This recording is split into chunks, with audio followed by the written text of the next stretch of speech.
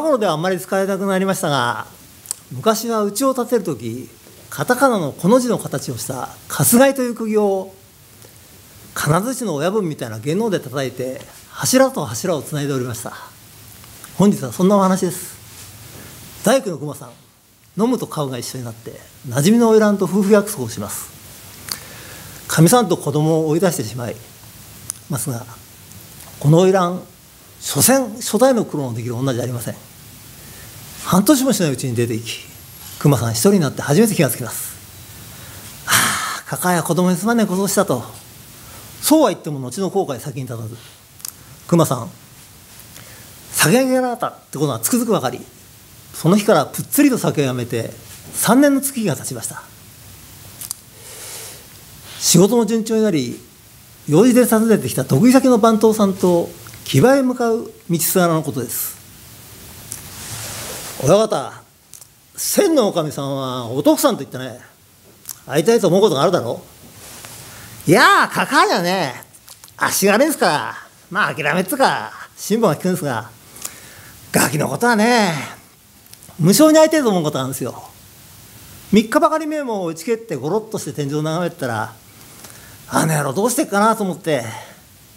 そしたら涙が止まらなくなっちまって。まったく育児がねえもんです。そりゃ育児がねえってんじゃねえよ。親子の冗談ね亀ちゃんと言ったね。いくつになるえー、あいつがおつけた時のやつでしたから11になりましょうか。11かか。わいい盛りだね。どこにいるのか丸木しょうがないのかい？ええー、丸吉まあどっかで生きてるでしょはあそう言っちまうと味気ねえがね。あれ？分かった。ちょっと足止めてくれよ。向こうから学校帰るとこが3人歩いてくるじゃないか。あの真ん中の子よ。ひょっとしてお前さんちの子じゃないかい？冗談言っちゃいけませんよ。あいつがあんなとこにいるわけがねえ。いるわけがないって言ったって私も会ったことがあるよ。草履袋がなんかくるくる回して亀ちゃんじゃないかい？あ亀です！あ野郎です！あれは動いてる。当たり前だよ。しかし驚いたね。今話をしたんだよ。そしたら目の前に現れるとは。いやこれ驚いた。おう3年ぶりなんだろ。会って話してやんねよ。いや読ます。これだったら分からん辛くなりますから米粒と駆け出しやす。そんなことはしなくたっていいよ。どうせいつも男だ。先行ってるから会っておやりよ。そうですか？ありがとうございます。じゃああとすぐ駆け出すんで。おう亀！亀吉！何キョロキョロしてんだよ。こっちだこっちだ。お父っつぁん？お父っつぁんだね。ああお父っつぁんだ。亀大きくなったな。お父っつぁんも大きくなったね。いやお父っつぁん大きくなんねえな。お母さん達したか。ああそうかそれはよかった。お父っつぁんは帰ってくれるか？え？だから新しいお父っつぁんは可愛がってくれるかっつうの。ちょっと古ぼけたお父っつぁんならここにいるけど。やそうじゃなくてな。じゃあお母さんは一人でいいのか？ん？一人じゃないよ。あたいと一緒。いやそうじゃなくてどうやって成り合いを立ってるかっつうんだ。あだったらねお母さんほぼからおはりの仕事もらってやってる。それねあたりやって手伝ってるよ。近所のお使いしてお立ちもらってみんなお母さんが渡してる。そうか。お前のそうやって稼いでんのか。お母さんも働き者だからな。でもお母さん俺のこと恨んでるだろ。ううん？それは大丈夫。お前のお父っつぁんはいい人だって言うよ。だけどお酒がいけないんだってさ。だから安心しな。そうか。お母さん他にお父っつぁんのこと何か言ってるか？うん言ってるよ。雨が降って表へ出れない日なんかあるだろ。そうするとおはりの仕事しながらお父さんとお母さんの出会った頃の話なんかしてくれる。おっかさんはお屋敷に奉公してたんだろ。そこへお父さんが大工さんで仕事行ってそのうちに前掛けだとか半襟だとかそういうもんくれるんだって？お父さんそういうんでお母さんを釣ろうとしたんだろ？やおや話を聞くんじゃねえ。あっち行ったらまった。くニヤニヤしながら話聞きなって。うんまあそうだ。そしたら私の奥さんが熊さんは優しいし腕もいいしいい人だから一緒になったらどうだいって勧めてくれて一緒になったんだろ？そうだろうお父っつぁんお母さん言ってるよ。お父っつぁんはいい人なんだけどお酒飲むとわけが分かんなくなっちまってなんか花魁っていうのに魔が差したんだって。お父っつぁんまだその花魁と一緒にいんの？いやおやあっちへ行けっつうの。そうか知ってたか。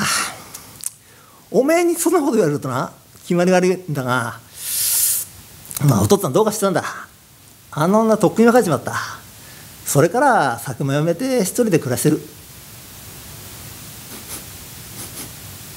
本当だ。お酒の匂いがしない。へえやればできるもんだ。余計なこと言うんじゃねえよ。小遣いから手出せ。あれお父さんこれ50銭だよ。うちにいる時は1銭くれっても目三角して残ったら今黙ってるとも50銭くれんだ。はあ年は取らせたいもんだ。余計なこと言って何って言うんだよ。いいか無駄遣いすんじゃねえぞ。ちゃんと学校行ってるか？勉強してるか？うん勉強してるよ。お母さんがいつも言うよ。これから腕だけじゃダメなんだって。お前のお父っつぁんは腕は立つ人なんだけどその代わり秋めくらなんだって。秋めくらっつうのはなんか周りがよく見えなくなっちゃうらしいんだけどよくあだよこういうの分かったね。よせ秋めくらってのはなそういう意味じゃなくてな俺みたいに学問ねえやつのこと言うんだよ。お母さんの言う通りだ。これからちゃんと頭使わないといい仕事できねえからな。あれ？どうしたんだこの男のとこ？傷じゃねえか。言うこと聞かないでおっかい殴られたか。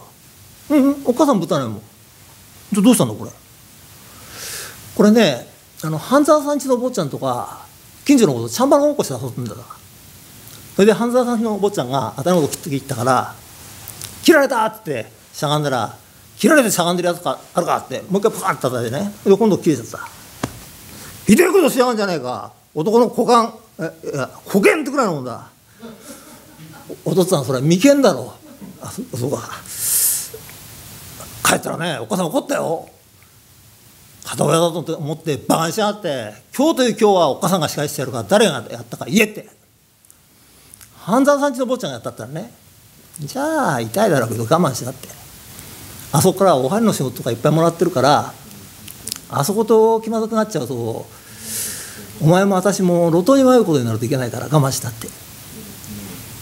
それと倍返しとかされるかもしれないからって。お母さんがそう言うからね。あたりとってもとっても痛かったけど我慢しちゃった。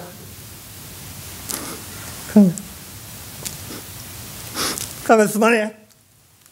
おめえに今ねそんな辛い思いさせてもらって。みんなこの俺が悪いんだ。お前男だろ。泣くんじゃねえぞ。あたい泣いてないよ。泣いてんのはお父さんだろ。そうかその時ねお母さん言ってたよ。こんな時にあんな飲んだくれでもいてくれたらせめてかかしの代わりにはなったろって。かかしの代わりかよ。ひでえこと言うな。けどおめえにまでそんな辛い思いさせてもらったな。おそこにうなぎ屋があるじゃないか。おめえ近頃うなぎ食ってるか。うなぎなんか食えるわけねえじゃねえか。中国産だって食ったことねえや。まあそれもそうだな。今日おとつな仕事があって人が待ってるからダメだ。明日の今自分ここに来て立ってろ。え？明日ここでうなぎパスくれんの？前はよく嘘言ったけど。もうお父さん昔のお父さんじゃねえよ。ねお父さんあたいちすぐここなの。寄ってってよ。その豆腐屋と荒物屋の間の路地入ったとこ。お母さんもいるから。うーんそれがダメなんだ。どうしてって言われると困るんだかな。俺とお前は親子だがもうお母さんと赤の他人だそれからすまねえが今日俺に会ったこと小遣い渡したこと明日うなぎ食いに行くこと。お母さんには内緒にしといてくんねえか。頼む。男と男の約束だ。分かった。男と男の約束だったら内緒にしとくよ。おそっか。その路地入ったとこだな。じゃあさ。おっかさんただいま。ただいまって何やってんだよこの子は。学校帰りでもってみんな友達帰ってきてるじゃないかい。お前が帰ったら仕事頼もうと思ってね。今糸が届いたんだ。荷物下ろしてこっち来ておくれ。手出してくれ。糸巻かなきゃいけないから。ちゃんといつものトイレの中やっとくれよ。お前なんだよ鼻水垂らして。すするんじゃないよ。両手が下がってるからって紙で紙はいいじゃないの。そうやってキュッと貼るとさおっかさん辛いから負けないからずっと握ってんじゃなくてちょっと開いて。あれ？亀何か落としたよ。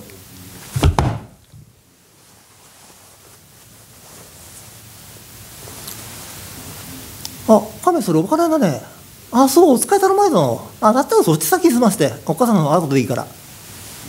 ううん。お使いなんか頼まれてないよ。だったらそのお金どうしたの？いいの？いいのって何よ？誰からもらったの？知らないおじさん。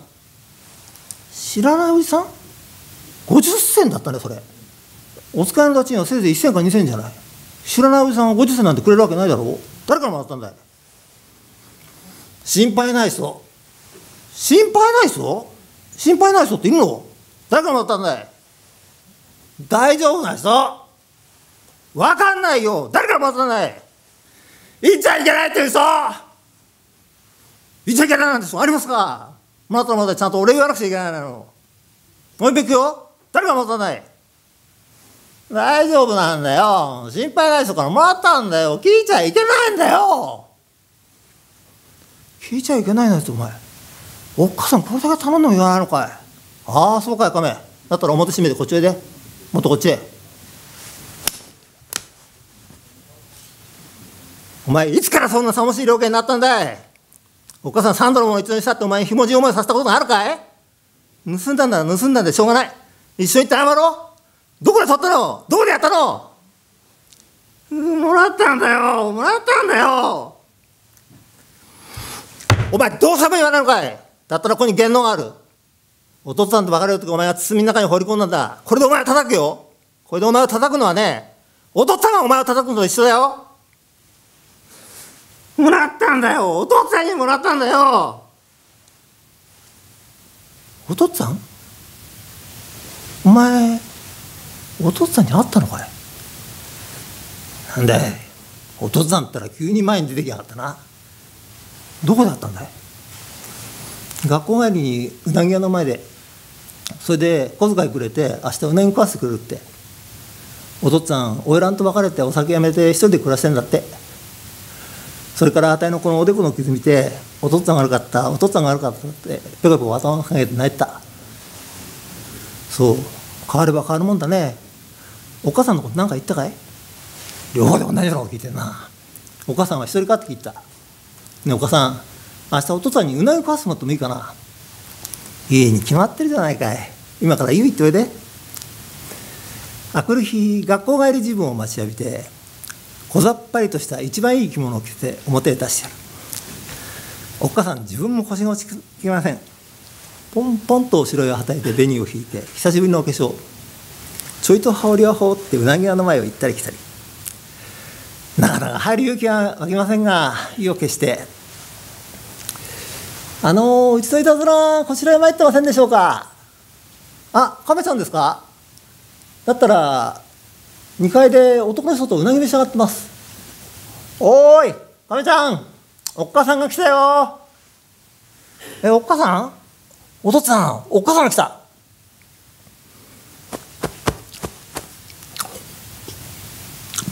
お前なんダメだったろ？なんでだよ？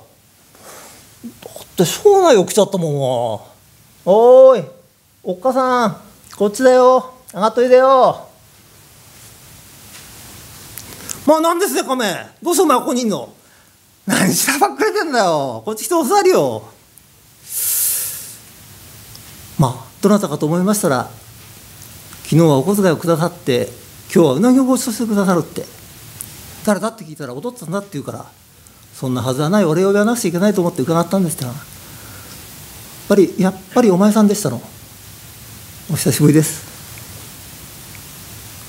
いやこれはこれはどうもご無沙汰しております。いや昨日この前でな。うんばったり亀やってな。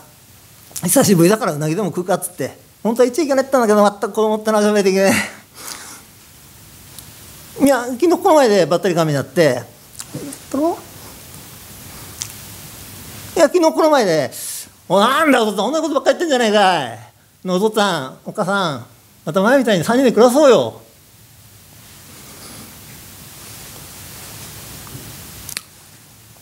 うんそうだな。まずおめえにはちゃんと礼言わないといけねえな。こいつをここまで大きくしてくれてありがとう。あの時はすまなかった。見下り半叩きつけてこいつをつけて。あれから一人になって何がデジか一番デジか初めて分かった。それでな今更俺の口からこんなこと言えたきりじゃねえんだがお前が一人でいるのが幸いだ。また前みたいに一緒に暮らしてもらえないか？いやこいつのためにもな。ただもうお前がこれだってんならしょうがないんだけどな。